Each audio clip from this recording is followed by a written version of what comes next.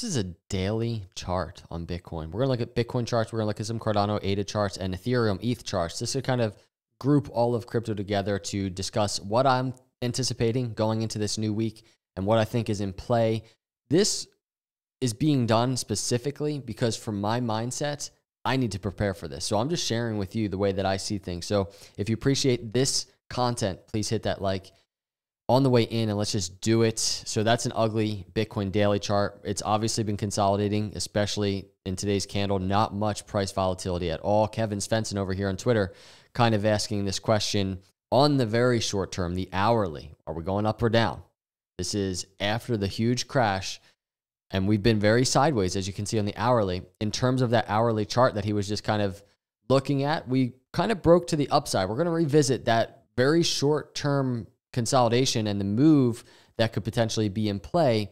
But before we do, I want to make a couple points. Number one, in relation to traditional markets, this is S&P 500 on the weekly. I think this is this is a kind of a good thing. This is weekly consolidation on the on the S&P 500. So stock market consolidating right at the 20 week moving average right now. This is a huge test. If we get a bounce of continuation to the upside, this could be good for crypto.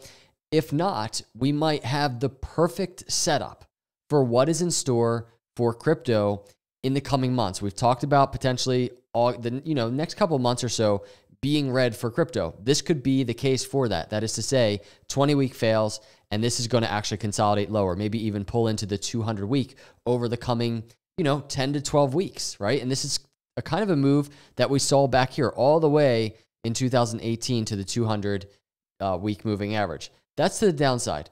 If we get upside on the shorter term and we start moving up on the S&P 500, that's something to consider for crypto. The other thing is this going into this brand new week. This is kind of a headline that's floating around. This is the last couple of days. Crypto prices rally back.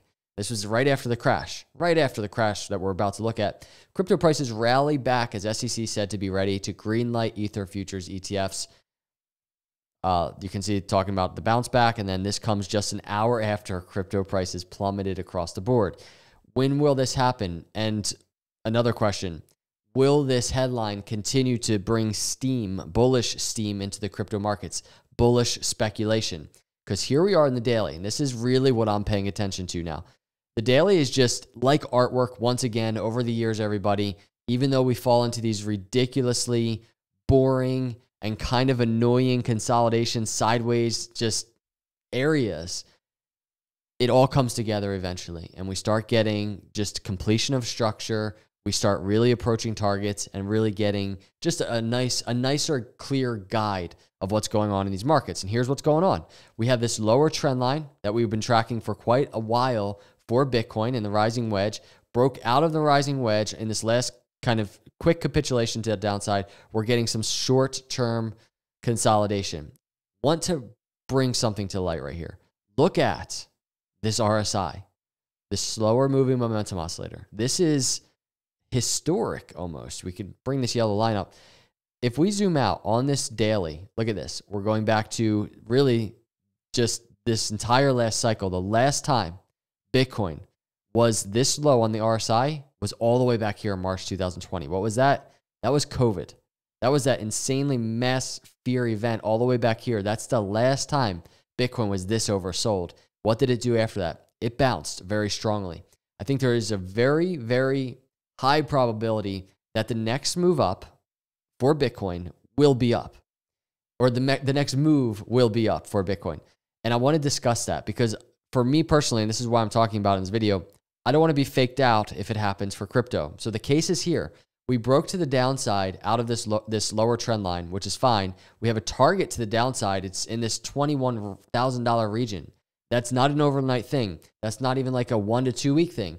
This is what could potentially happen. I'll talk about the bullish confirmation where this might be broken in just a minute, but this is the story of these very big patterns. This is what it looks like for Bitcoin. So, break out of the lower trend line, capitulation, right? Oversold, time for consolidation. We just looked at it on this hourly chart that Kevin was alluding to. Uh, the breakout target over here, I think, is around $27,300 or so. We go to the daily chart. Let's look at where $27,300 is. I'll put a horizontal line. We can kind of just plot it out. 27,000 right around here, 300 some dollars. So this is the case for Bitcoin to bounce. The velocity of that, not sure, but this is what I'm keeping an eye off on. The bounce, whether it's tomorrow, this week, next couple of days, it's this area. So it's this trend line that Bitcoin was in, this slow just fall, this this slow lower low, lower high channel that Bitcoin was in. It's that lower trend line, that area I'm looking for as resistance as I am also looking at this lower trend line on the macro, this dotted line as resistance as well. That's what this green triangle is. This is a resistance area for Bitcoin, even if we get a bounce to the upside. A bounce from where we are right now to that lower part of the green resistance area is around 8%, upper upper area is around 12%. That's a nice move. But in that in that environment, I'm personally not sitting here like extremely bullish.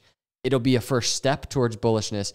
What I'd be watching for though is can Bitcoin break with with just velocity and strength that resistance area. A move kind of like we saw back here, and this was off of a very pretty oversold area back in March 2023.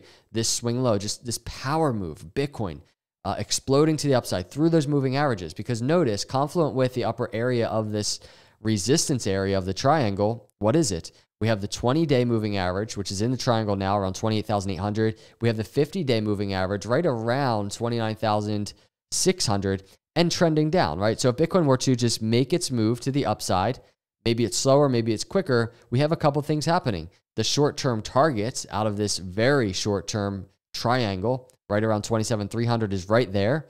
And just above that area is our kind of more midterm resistance area for Bitcoin. What happens with Bitcoin if it gets to that area?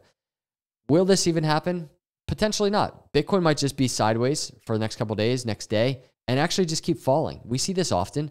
But what is so compelling about that happening and what will be so interesting to see is this RSI on the daily. Once again, how oversold that might actually get if we continue to the downside. Because notice, it's not bounced much out of the oversold that it's already kind of plummeted down to. So if it continues to fall, that's going to be telling. That's kind of why I, I tend to lean towards thinking we're going to get a nice bounce, maybe 10 to 15% bounce. But what happens next is the question will Bitcoin break this resistance? And the same thing is, is kind of happening over here on ADA, on the ADA daily charts. ADA kind of in the last day or two outperforming Bitcoin, um, which has kind of been interesting to see.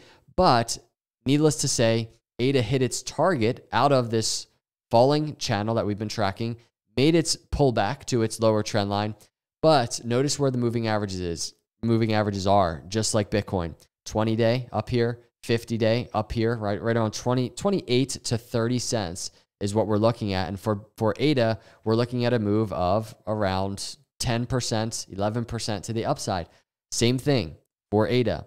Is ADA going to break through those areas if we do get a bounce.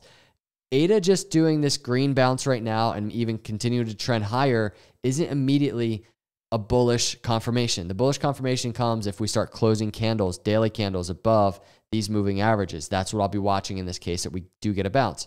Going over to Ethereum, very similar to Bitcoin, breaking this lower trend line, Ethereum, you can see uh, moving averages, the 20 day, the 200 day, the 50 day just above. A lot of confluent resistance right around this 1800 mark, maybe slightly higher. And what is it? That is a move of around, let's go to the 50, around 11% to that trend line, around 8. Very similar to Bitcoin, 8 to 12%. That's the resistance area. Can crypto, all of these cryptos, the space in general, manage to not only just pump off of this bounce, right? not only just pump, but actually pump through resistance instead of just boom, resistance, and we're going lower. That case of going lower, I just want to state this publicly. I don't think it's that bearish. I think on the macro, we start looking at uh, Bitcoin zoomed out. Look at this on the daily. If Bitcoin were to even just hit that target to downside, meaning we actually pull up to that resistance. It does fail. We don't get the bullish confirmation and we start trending back down over the next couple of months. We have just just some red months in store. We hit our target in this general area. It's a higher low for Bitcoin. It's a higher low for crypto if that happens. And that's just I think that's going to be the end of it. I think that's going to be the end of the macro pain that we just survived and I think bull season will officially I think we're just like you change seasons, you start smelling spring. I think we're really going to start smelling spring bull season for Bitcoin. Uh, it just might take a couple months, but I digress from that. Maybe Bitcoin, maybe cryptos in general can break all of this kind of shorter term resistance and, and trend higher in the short to midterm. But these are the things I'm waiting for to see if that will happen. Uh, but we'll see what happens going into this new week. Let me know your comments, everybody. What do you think is going to happen? What do you think we're doing? Where do you think we're going with these crypto prices? I appreciate you cruising through. If you're if you're out there on this weekend, I hope you're enjoying your weekend. Again, if you're not a subscriber, hit that subscribe button right now and turn the notification on. Get notified as I put out content, crypto news, crypto analysis like this, and and we're getting there, everybody. Have an awesome weekend. God bless.